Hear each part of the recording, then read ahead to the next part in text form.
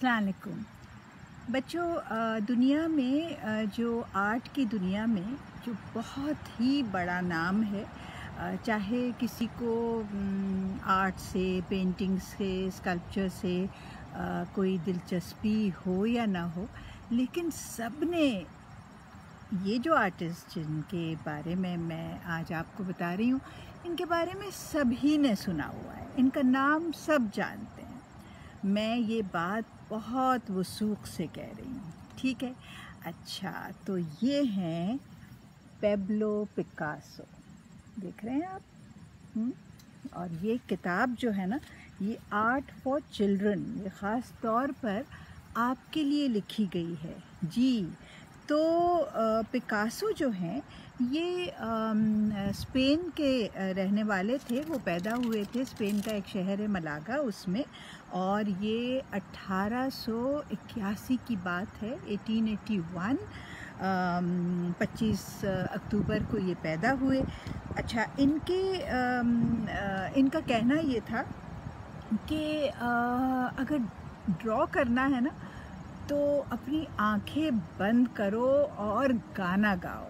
और फिर ड्रॉ करो और देखो कि कितना मज़ा आता है।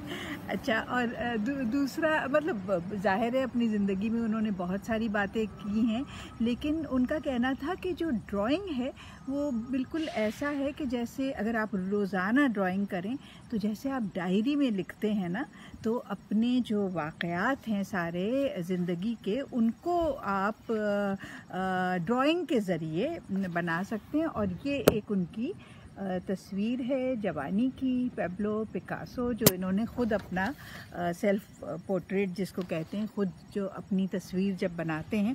तो पिकासो के वालिद भी पेंटर थे और टीचर थे आर्ट टीचर थे। उनकी वालदा बेहद जहीन और हाजिर दिमाग खातून थी।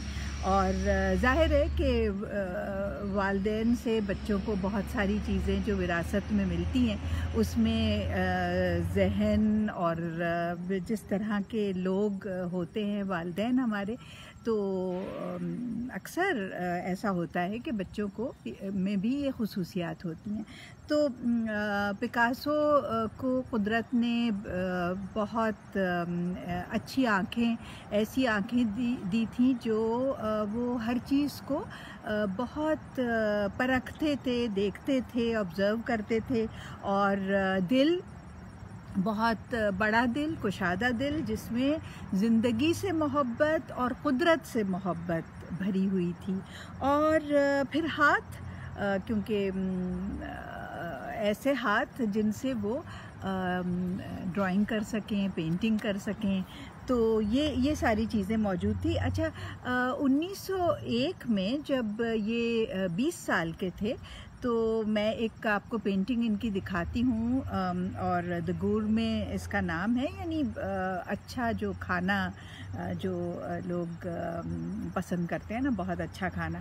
अब इसमें ये देखिए ये बच्ची है ये देख हैं ना बच्ची की तस्वीर है और वो प्याले में से आ, मतलब वो जो भी खाना बचा हुआ है उसको निकाल रही है और खा रही है। आपकी नज़र पड़ती है जो आ, उसकी आ, गर्दन के गिर्द जो नैपकिन लिपटा हुआ है और उसका ये जो टेबल है टेबल क्लॉथ है ये जिस तरह से बनाया हुआ है और फिर ये जो उसके कपड़े हैं उसके जो फोल्ड्स हैं तो ये तकरीबन ये वो वक्त था जब तीन साल तक पिकासो ने नीला रंग जो है, वो बहुत इस्तेमाल किया तो ये उनका ब्लू पीरियड कहलाता है, ठीक है? और पिकासो को बहुत पसंद था, बल्कि उनके बहुत सारे दोस्त दोस्तियाँ उन दोस्तियाँ की थी ऐसे लोगों से जब आ, आ, सर्कस वो देखने जाते थे और सर्कस में जो लोग काम करते थे तो उनको बहुत उन्होंने अपने मॉडल्स के तौर पे भी इस्तेमाल किया बनाया अच्छा और ये तस्वीर जो है आ, ये है 1905 में उन्होंने ये पेंटिंग की थी ये देखिए। ये जो एक बड़ा लड़का, एक छोटा, लगता ऐसा है कि जैसे दोनों भाई हों मिलते जुलते से लग रहे हैं और ये उनके साथ उनका कुत्ता।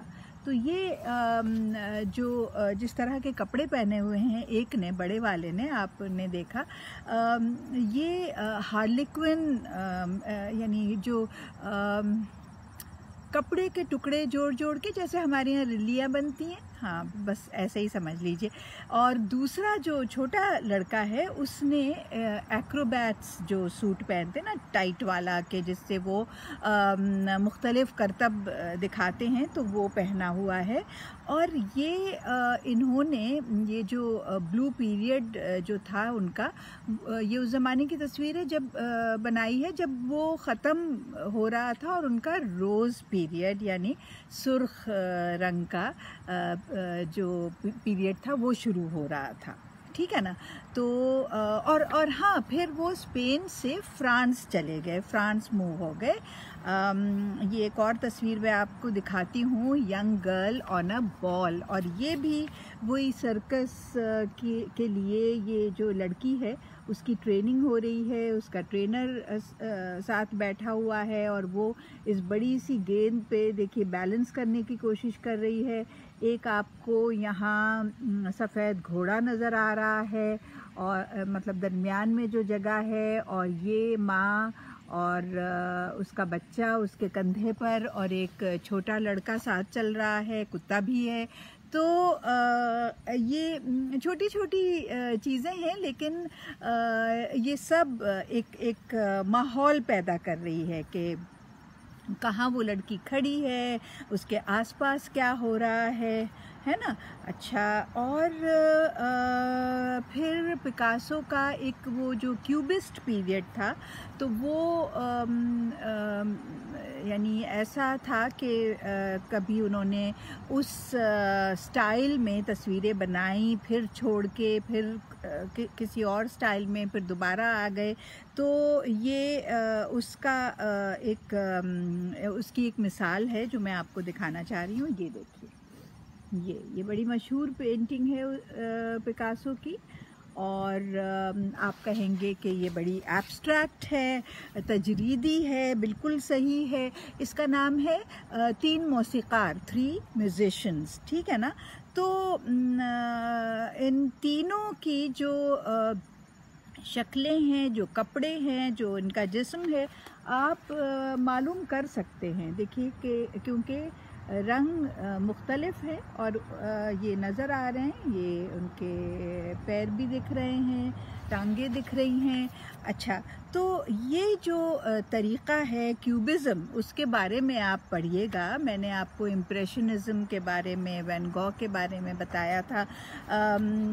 पिकासो ने माँ और बच्चा ये वाली जो थीम है, उसको कई पेंटिंग्स में इन्होंने पेंट किया और एक ये है 1922 में बनाई हुई पेंटिंग उनकी, ये देखिए माँ और बच्चे की और ये ऐसा लगता है कि ये माँ और बच्चा जो है, कुर्सी पर बैठे हैं, लेकिन जैसे कि संगे मरमर से तराशे गए हों।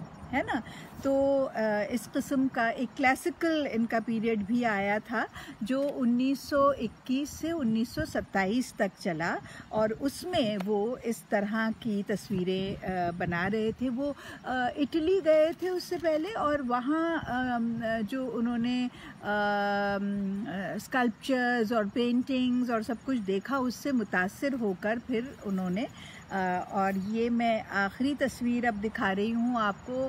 ज़ाहिर है कि हज़ारों हैं, बेशुमार हैं, लेकिन नहीं चले एक और दिखा दूँगी, लेकिन ये अभी जो तस्वीर दिखा रही हूँ, ये उनके बेटे पॉल की तस्वीर है, जो एक गधे पे बैठा हुआ है। ये देखिए, ये बच्चा और गधा और आप ये देखिए कि जो एक एक बारीक जो ब्रश का स्ट्रोक है तो जैसे पीछे जो घास है, उसी तरह से उसके गधे के जो बाल हैं, वो भी उसी तरह से आपको ब्रश के स्ट्रोक नज़र आ रहे हैं।